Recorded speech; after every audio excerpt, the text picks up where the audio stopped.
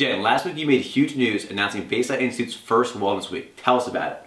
Bayside Institute's first Wellness Week is really going to focus on mind, body, soul, and even building a sense of community. Sounds incredible. Can you tell us a little bit about the classes?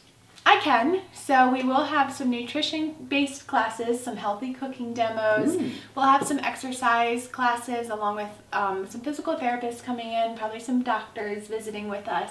Awesome. Um, so all kinds of really, really good, well, healthy things. Great. And what are the dates for the Wellness Week? Wednesday, June 20th through Sunday, June 24th. So mark your calendars. Don't forget more info to come on Bayside Institute's first Wellness Week.